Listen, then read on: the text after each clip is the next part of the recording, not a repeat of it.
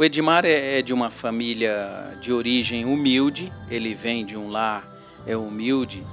e talvez por causa disso e também por causa da fé que ele tem na, na pessoa de Jesus Cristo, ele se tornou uma pessoa extremamente voltada